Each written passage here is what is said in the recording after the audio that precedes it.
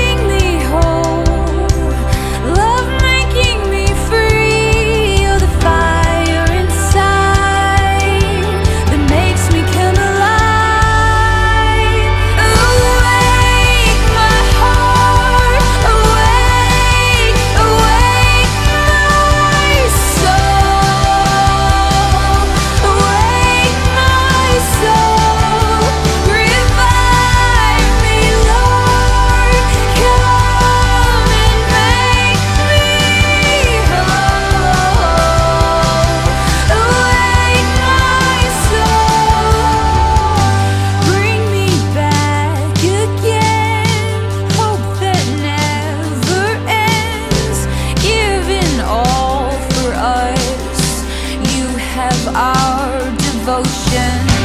Tasted